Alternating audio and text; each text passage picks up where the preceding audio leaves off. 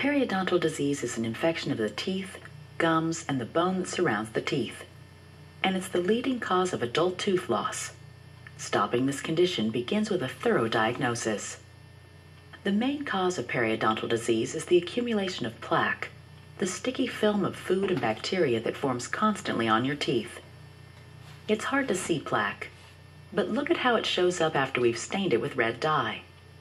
The bacteria and plaque invade the spaces between the teeth and gums and begin producing toxins. These toxins, combined with your body's reaction to them, destroys the bone around your teeth. Once bone has been lost, it never grows back on its own. When too much bone is lost, there is so little support for the teeth, they get loose and have to be removed.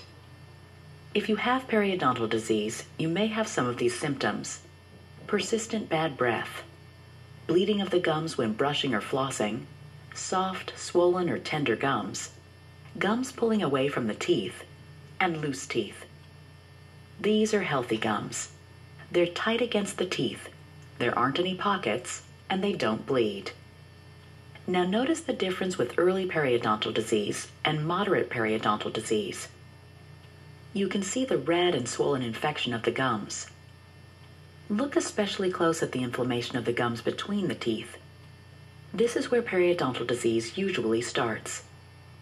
It is also possible to have no noticeable symptoms. In fact, most people who have periodontal disease aren't even aware of it.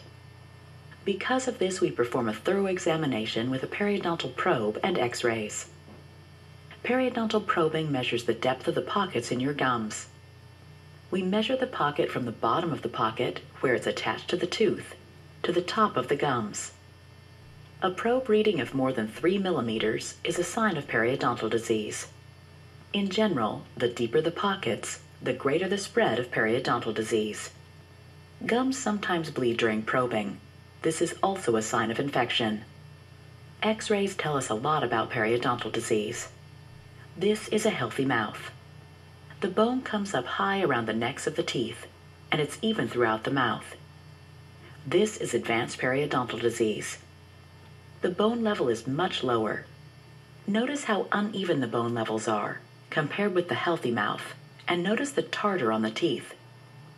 Tartar shows up on this x-ray as small white lumps on the sides of the teeth.